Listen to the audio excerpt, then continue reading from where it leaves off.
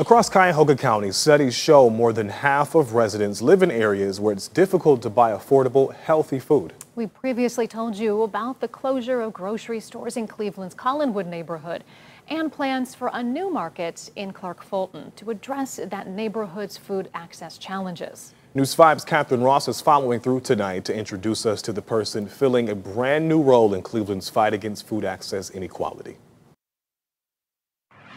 Ronald Miner can walk to the pharmacy and the dollar store from the senior apartments near Lakeshore Boulevard, but he can no longer take a walk to the nearest grocery store. I have to catch the bus and go down to the other days, down on 185th or um, Save a Lot Catch the bus, it's all down that way. News 5 reported when Dave's Market closed its doors in April of 2022, and now we're following through. Since the closure, the senior community has been offering a twice a week shuttle but Miner says he often relies on public transportation to get fresh meat and produce. That's awful because uh, I have to have my cart with me, my shopping cart carrying them bags back, you know, that's, that's a, a, lot of trouble right there. At the least, the loss of the grocery store has been an inconvenience for many in Collinwood, and some even consider the now food desert a public health dilemma. It's a big issue is because, like I say, it affects the elderly the most. The Cleveland Department of Health says lack of access to healthy food further exacerbates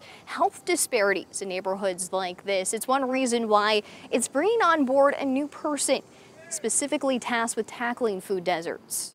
I want folks to be able to feel like they um, had a voice and that their voice is being heard and that there's um, action steps coming out of it. Zainab Pixler is several weeks into her new role as the city's first local food systems strategies coordinator. It's one of just 19 across the country and currently a two-year grant-funded position. It's a product of collaboration between the Department of Public Health and members of local advocacy groups. Really pushing towards community ownership and community power, um, I think is, is absolutely crucial. Tuesday, local advocates tout the importance of collaboration and empowering communities, especially communities of color, to create their own solutions to food access. Village Family Farms is working to address systemic challenges in the Hough neighborhood, where life expectancy is several decades shorter than its more affluent neighbors. Pixler plans to help coordinate efforts like this, help groups leverage existing resources, and tackle food inequality. When thinking about uh, increasing food access, urban farms and gardens are great, but you also have to think about how we get that food to people. Some people struggling to get easy access tell us they're hopeful about the city's investment,